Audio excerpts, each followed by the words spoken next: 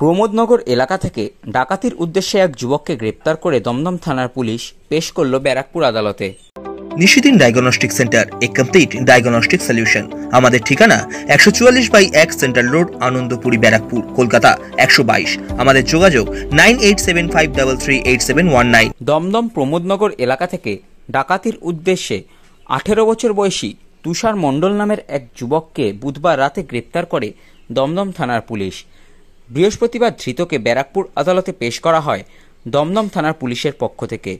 ধৃতকে পুলিশি হেফাজতে পাওয়ার জন্য আবেদন জানানো হয়েছে ব্যারাকপুর আদালতের বিচারকের কাছে, দমদম থানার পুলিশের পক্ষ থেকে।